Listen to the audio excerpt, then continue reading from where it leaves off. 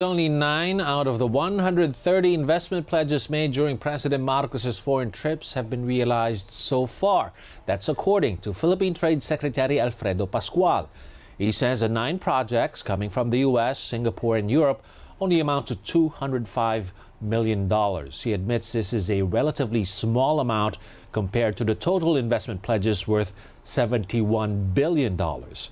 Pascual says government will ramp up efforts to make sure all the promised projects are realized in the coming years.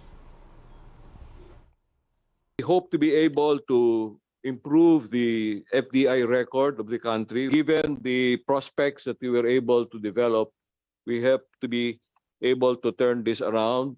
And there are already indications of uh, potential prospective growth.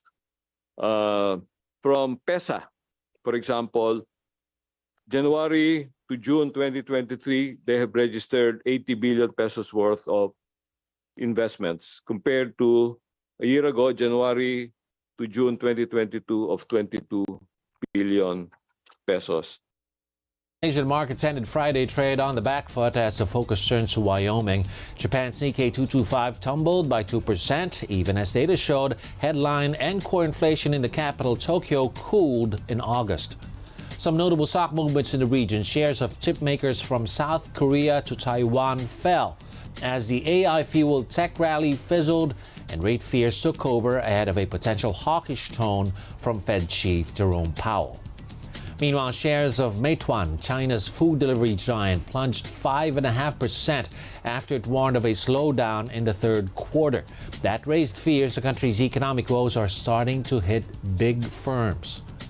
Here at home, Philippine shares joined the slump with the main index bringing its weekly decline to 3.8%. The PSEI now on a five week losing streak.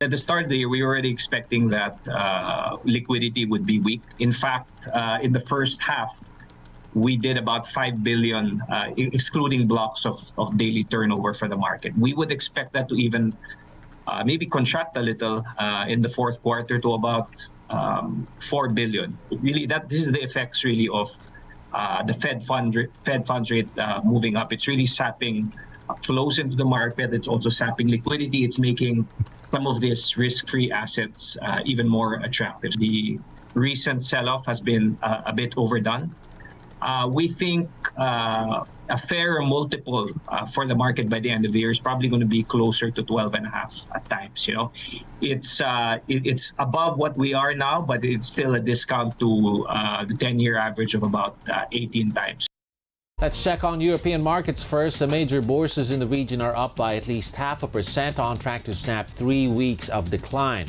For now, markets are getting a lift from mining and energy stocks thanks to firm commodity prices. The German DAX joining the rally even after a series of gloomy data. Europe's biggest economy stagnated in the April to June period, although the zero growth for the quarter pointed to Germany exiting recession on an annual basis, GDP contracted 0.2%. The Business Climate Index also falling more than expected in August. It's the fourth month in a row that sentiment has declined, adding to fears the economy may be heading for its second recession inside a year.